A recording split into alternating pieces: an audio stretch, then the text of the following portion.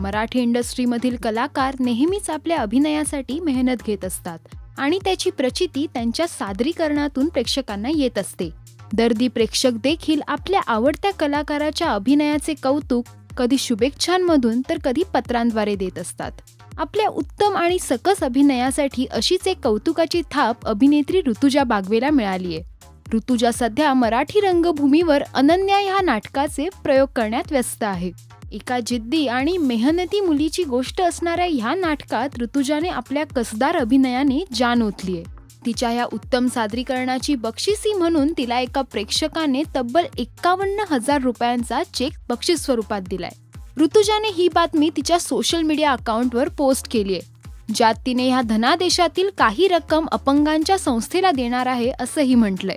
ऋतुजाने हा क्षण तिच्यासाठी अविस्मरणीय असल्याचं म्हटलंय. चाहत्यांनी देखील ऋतुजाचं अभिनंदन केलंय. ऋतुजाची प्रमुख भूमिका असलेलं अनन्या ह्या नाटकाचं सगळीकडे खूप कौतुक होतंय. समीक्षकांनी देखील ऋतुजाच्या अभिनयाचे कौतुक केले आहे ह्या भूमिकेसाठी ऋतुजाला अनेक पुरस्कार देखील मिळालेत.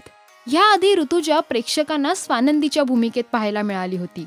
त्यामुळे ऋतुजा ह्या नाटकानंतर आगामी कोणत्या प्रोजेक्ट्समधून दिसणार ह्याची देखील उत्सुकता आहे. मराठी सिने इंडस्ट्रीमधील अपडेट गॉसिप आणि बातम्यांसाठी पाहत राहा आणि सबस्क्राईब करा राजश्री मराठी.